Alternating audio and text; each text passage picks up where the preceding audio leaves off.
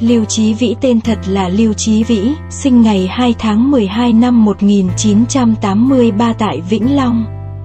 Hiện ca sĩ đang sinh sống tại thành phố Hồ Chí Minh tại căn hộ Sunrise City, quận 7. Ngay từ nhỏ anh đã bộc lộ khả năng ca hát của mình, nhưng mãi đến những năm 2000 và sau đó Lưu Chí Vĩ mới được mọi người biết đến. Lưu Chí Vĩ được biết là cựu thành viên của nhóm nhạc AXN. Nhóm nhạc nổi đình nổi đám của V-pop vào sau những năm 2000. Dù cùng thời cũng có những nổi tiếng khác như 1088 WeBoy. GMC thế nhưng nhóm ASN vẫn có một chỗ đứng vững chắc trên thị trường với dòng nhạc dễ nghe, dễ thuộc với các chủ đề về tình yêu, tình bạn. Tuy nhiên, thời kỳ vàng son của nhóm ASN tồn tại không lâu. Các thành viên lần lượt tách nhóm và theo đuổi con đường sâu lâu Người được coi là thành công nhất sau khi tách nhóm chính là Lưu Chí Vĩ. Sau khi tách nhóm, Lưu Chí Vĩ hoạt động cho công ty Thiên Thi của Nhất Trung cũng là cựu thành viên của AXN. Sau này cũng là công ty quản lý của các ca sĩ Minh Hằng, Tim, Phương Trinh Jolie. Thời điểm đó, công ty Thiên Thi tập trung đầu tư vào Lưu Chí Vĩ, nhanh chóng tên tuổi của anh được nhiều khán giả trẻ yêu mến. Cái tên Lưu Chí Vĩ là ai không còn quá xa lạ với tất cả mọi người yêu âm nhạc thời điểm này. Các bài hit của Lưu Chí Vĩ lần lượt ra đời. Khi đó, đi đến quán cà phê nào cũng nghe thấy nhạc của Lưu Chí Vĩ với các bài hát làm mưa làm gió thị trường như chạy theo cô bé yêu, mong người ta luôn tốt luôn yêu em, người ấy và tôi em chọn ai, kẻ bướm hoa. Vân vân, hay những năm sau đó là chia tay cuối kết hợp với Minh Hằng, cuộc nói chuyện giữa hai người đàn ông kết hợp với Tim. Năm 2010 Lưu Chí Vĩ quyết định rời khỏi công ty Thiên Thi để tìm hướng đi mới cho mình. Sau khi rời khỏi công ty cũ, Lưu Chí Vĩ không vội chạy theo dòng nhạc thị trường mà vẫn kiên trì hát nhạc trẻ.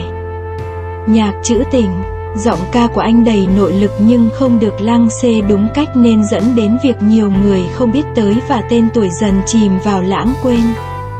Đây là giai đoạn khó khăn nhất đối với anh. Rời khỏi công ty, Lưu Chí Vĩ vẫn theo đuổi dòng nhạc trẻ nhưng không quá thị trường, anh vội vàng tung ra album tìm lại hạnh phúc nhưng do không được PR.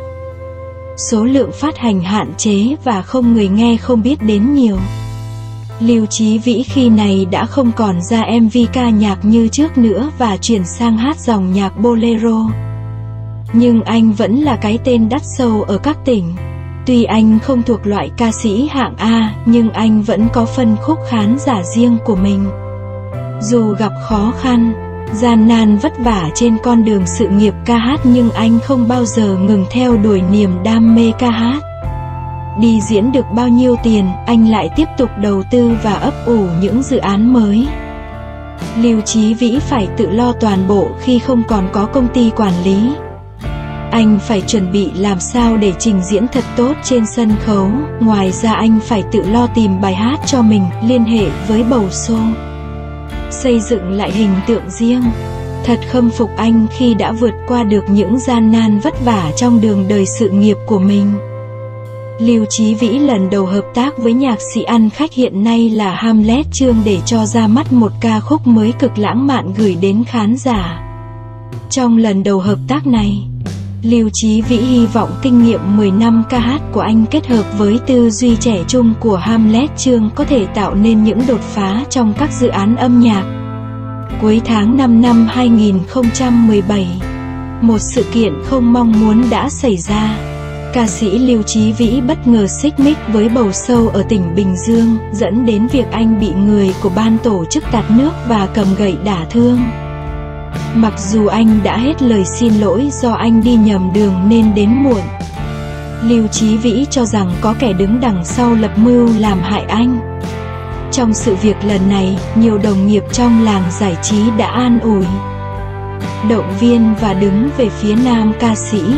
Mọi sóng gió rông bão rồi sẽ qua đi, chỉ còn tài năng là ở lại. Sự nghiệp của Lưu Chí Vĩ khởi sắc nhờ vào sự kiên trì bền bỉ và những nỗ lực không ngừng nghỉ. Kể từ khi anh chuyển mình sang dòng nhạc bolero, người hâm mộ hoàn toàn có cơ sở để tin rằng sẽ còn gặp lại Lưu Chí Vĩ trong nhiều sản phẩm âm nhạc ấn tượng hơn trong tương lai. Ngoài việc tất bật với lịch diễn, anh vừa ra mắt sản phẩm âm nhạc mới với chủ đề về gia đình mang tên Những bữa cơm nhà. Ca khúc chủ đề của sản phẩm là sáng tác mới của nhạc sĩ Nguyễn Văn Trung dành tặng cho nam ca sĩ. Chia sẻ thêm về cơ duyên hợp tác, Lưu Chí Vĩ và Nguyễn Văn Trung tiết lộ cả hai được sự kết nối bởi một ca sĩ trẻ. Cụ thể, tác giả nhật ký của mẹ tình cờ cho người em này nghe sáng tác mới của mình về gia đình và được ca sĩ trẻ gợi ý giọng hát phù hợp nhất là Lưu Chí Vĩ. Không đắn đo, suy nghĩ quá nhiều. Nguyễn Văn Trung quyết định tặng ca khúc đầy tâm huyết cho giọng ca sinh năm 1983. Khi thể hiện ca khúc Những bữa cơm nhà, Lưu Chí Vĩ không giấu được sự xúc động. Anh tâm sự từng trải qua nhiều sóng gió trong cuộc sống lẫn nghề nghiệp và nghiệm ra không đâu êm ấm bằng ở nhà với những bữa cơm do mẹ nấu và cùng cả gia đình quây quần bên nhau.